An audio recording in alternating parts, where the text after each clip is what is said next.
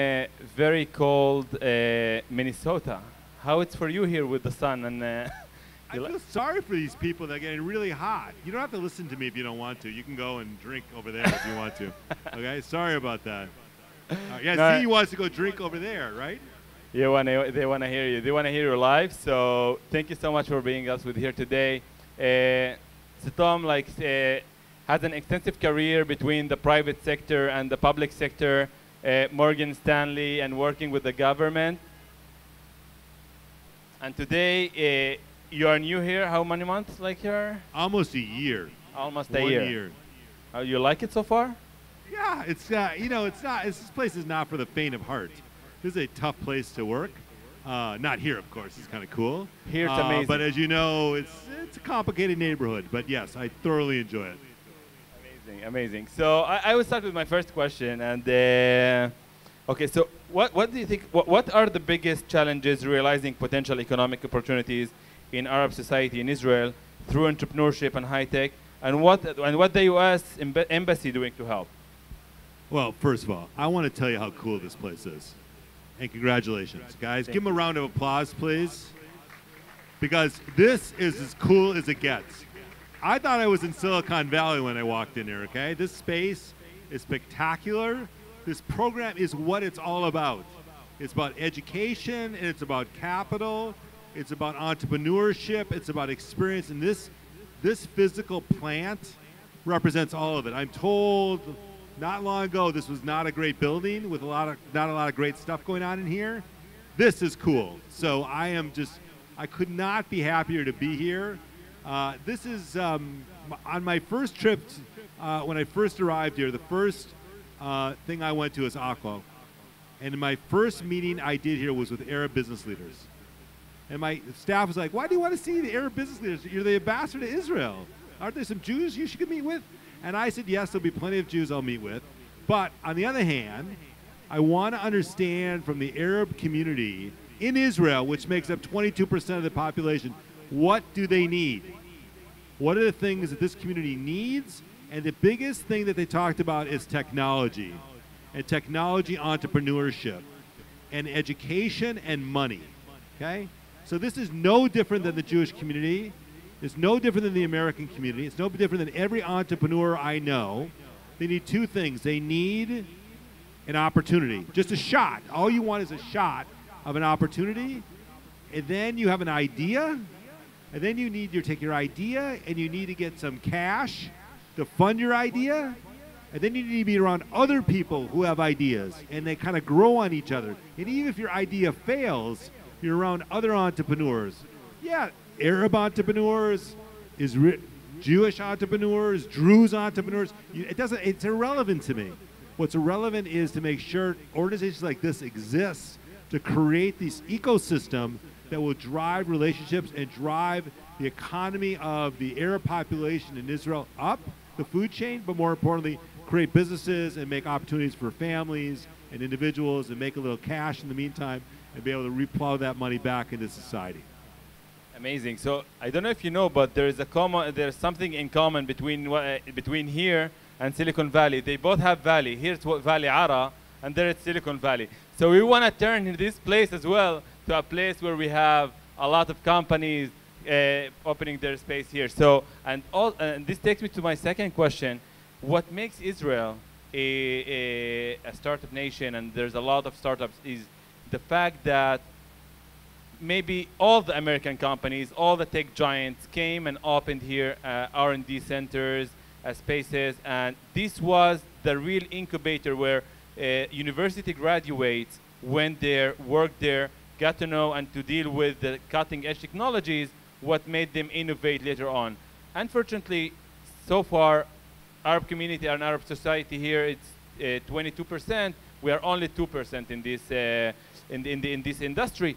How do you think we can make sure that to more diverse uh, through these American companies and also to convince in a way or another American companies to come and open in, in such a place or to support such a place? Well, first of all, this is my passion.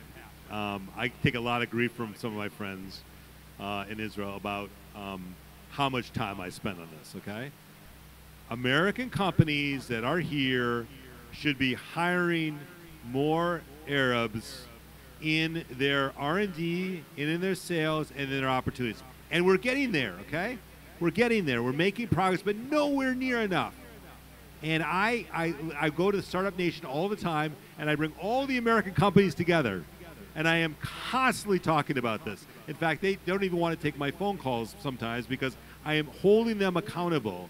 I know what the populations of their employee populations are, and I hold and, and I basically put them up. By the way, no different than we do in the United States. By the way, we have different um, underrepresented uh, populations in the United States, which we did when I was at Morgan Stanley.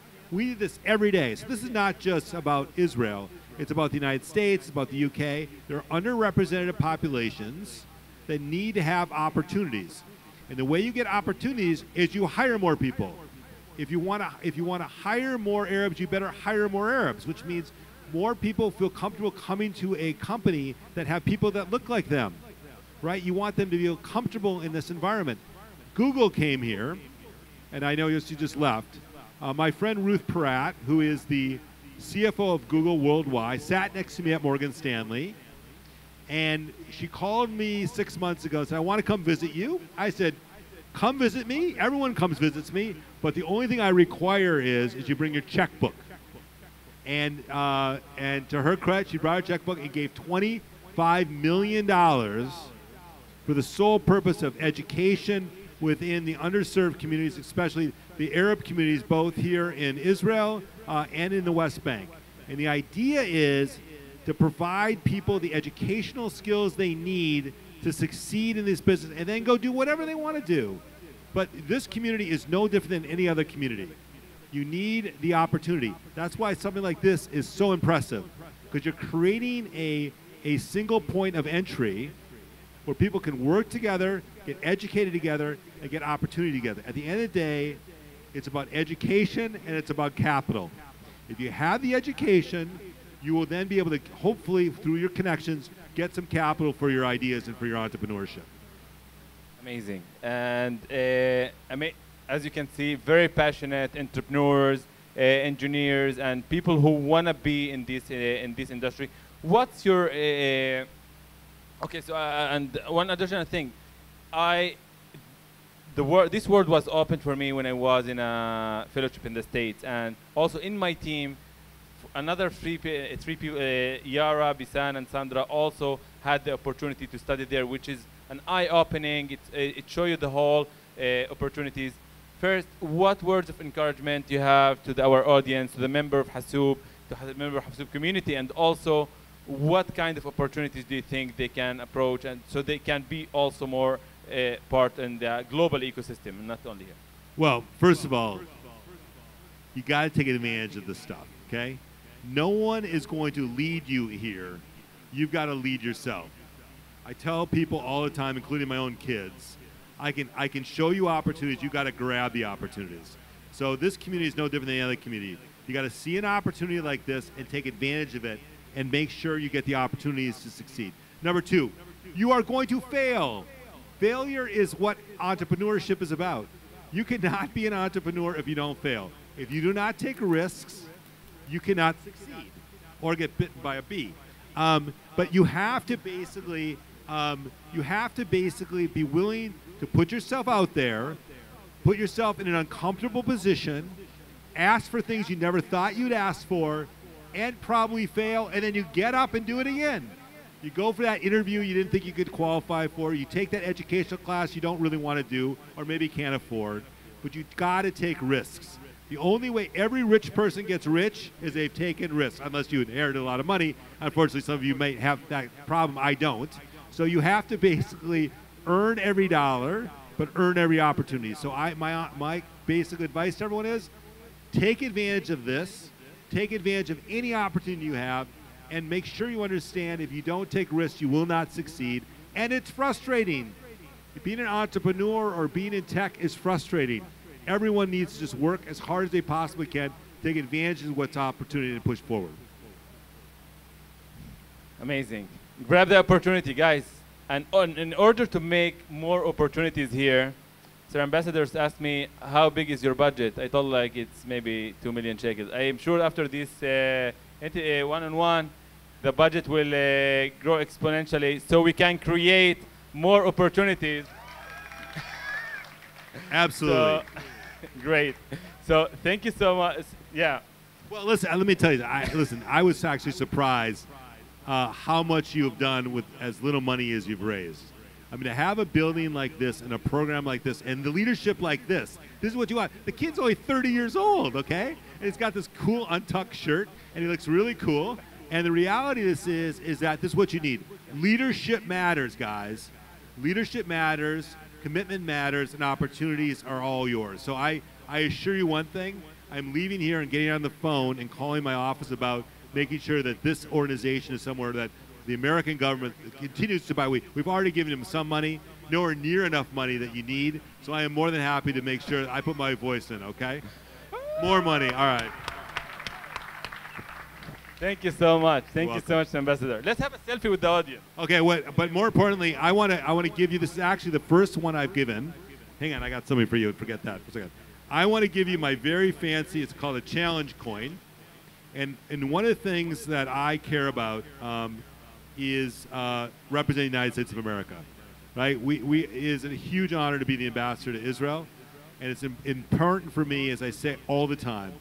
The only way we're going to keep the peace here is giving people the opportunity. So here's my challenge coin to you, and I, this is what you do. You hold in your hand. That's my challenge. Okay. All right. All right. Thank you very much.